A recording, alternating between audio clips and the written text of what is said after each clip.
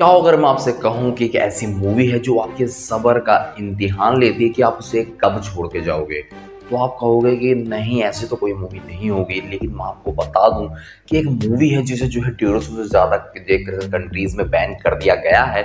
Movie का नाम है सैलो अब देखो, इसका एक और नाम भी है 120 डेज़ सोडोम करके। तो अभी वो मुझे पक्का याद नहीं है, शायद मैंने ध्यान नहीं दिया। भले एक मूवी है सैलो जो कि 1975 में रिलीज़ हुई थी और इसे डेढ़ सौ से ज़्यादा कंट्री में बैन कर दिया गया।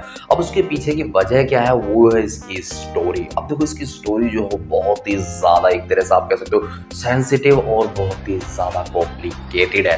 अब देखो स्टोरी तो मैं यहाँ रिवील नहीं करूँगा, लेकिन मैं आपको इतना ज़रूर बताऊँगा कि स्टोरी के अंदर आपको जो है 120 दिन के अंदर जो है मतलब 120 दिन का एक तरह से आप कह सकते हो एक एक्सपेरिमेंट होता है। कुछ टीनेज बच्चे होते हैं, जिसमें लड़के और लड़कियाँ दोनों होते हैं, उन पर होता है कुछ सेक्सुअल ट्रीट मतलब आप कह सकते हो एक तरह एक्सपेरिमेंट होता है सेक्सुअल वाला कि उन्हें हर तरीके से जो है टॉर्चर किया जाता है और देखा जाता है कि वो कहाँ तक बर्दाश्त कर सकते हैं। कुछ वी लोग होते हैं, जो अलग अलग तरीके से टोर्चर करते हैं। अब आप कहोगे तो इसमें ज़्यादा बड़ी क्या बात है? क्या कर दिया होगा ज़्यादा से ज़्यादा? तो आप जो है मेरी इन बातों से अंदाज़ा लगा सकते हो कि जो मैं बताने वाला हूँ।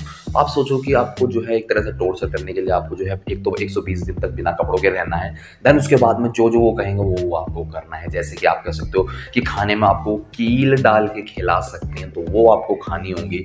देन आपके बाद जो है दूसरा आप कह सकते हो कि आपको जो है, एक तरह से पोटी और जो आप टॉयलेट वगैरह है, जो भी आपका जो गार्बेज होता है, वो चीज़ें आपको खानी होंगी और आपको जो है, कभी भी कभी भी आपके साथ में कुछ भी कर सकते हैं। अगर मूवी टाइम टाइम पे आपसे जो है, आपके सबर का इम्तिहान लेती रहती है, वो आपको हर बार कुछ ना कुछ ऐसा चीज़ दिखाती है जिससे आप सोच के ये सोचोगे मतलब देखने के बाद ये सोचोगे कि दरअसल मैं पी ही क्यों रहा हूँ, इसे मैं छोड़ क्यों नहीं देता? इतनी ज़्यादा घिनौनी चीज़ें दिखाने की कोशिश करती है। अब देखो मूवी का जो मेन मकसद था, वो तो मैं नहीं कह सकता कि हाँ वो क्या चीज़ दिखाना चाह रही थी, लेकिन जो मूवी दिखाना चाह रही थी वो कितना घिनौना था, ये मैं ज़रूर कह सकता हूँ। अब देखो मूवी का जो क्लाइमैक्स है, वो मैं ये कह रहा हूँ कि आपका माइंड ब्लो हो जाएगा। इतना ज़्यादा ब्रूटल है मतलब आप जो एंड वाला जो सीन है ना, वो इमेजिन नहीं कर सकते इतना ज़्यादा ब्रूटल मतलब दिखाया नहीं है, लेकिन वो जो एक तरह से एग्जीक्यूट किया गया है, जो फिल्माया गया है, वो चीज़ जो आपके ऊपर छोड़ दी गई है कि हाँ यहाँ पे हम ये चीज़ कर रहे हैं, बस आप वो चीज़ सोच के ही आप जो है दंग रह जाओगे कि दरअसल कोई मूवी इतना कैसे दिखा सकती है। जैसे कि आप सोच सकते हो कि सामने एक बंदे को टॉर्चर किया जा रहा है, उसकी आँख फोड़ के निकाल दी गई है और वहाँ वो दूसरा जो वी आई पी है, उस चीज़ को देख के फील ले रहा है। वो वाली फील जो आप समझ गए और गैजम मैं ये कह रहा था कि भाई साहब जी क्या चीज़ बना रखी है। अब देखो मूवी जो है, इसमें बहुत सारे नेगेटिव पॉइंट है। नेगेटिव पॉइंट मतलब इसकी सिनेमाटोग्राफी इसकी स्टोरी टेलिंग में बहुत ज़्यादा फ्लोज हैं, क्योंकि 1975 की मूवी है।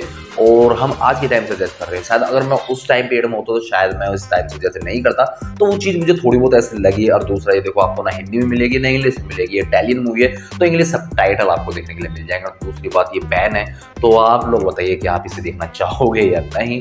बात करें अब रिकमेंडेशन की तो देखो, मैं इसे ना तो रिकमेंड करूँगा, ना ही मैं ये कहूँगा कि मत देखना। क्योंकि देखो, ये आपको ऊपर आप देखना चाहते हो तो देख सकते हो, नहीं देखना चाहते हो तो चॉइस आपके ड्रॉप आउट कर सकते हो? लेकिन आप लोग बताना कि आपने इसे देखा है या नहीं, और क्या आप इसे देखने वाले हो? क्योंकि देखो, मैं इससे ब्लो हो गया था, जैसा इसका ये कॉन्सेप्ट था। और उम्मीद करता हूँ आपको ये जो है टॉपिक समझ में आगे होगा पसंद आया होगा वीडियो पसंद आए तो वीडियो को लाइक कर देना चैनल सब्सक्राइब करके बेल आइकन दबा के ऑल पे भी क्लिक लेना ताकि बाबू सोना चादर रोना का मैसेज भाई वीडियो का नोटिफिकेशन आए। बाई करते वीडियो को एंड आप रखना अपना ख्याल। Bye bye take care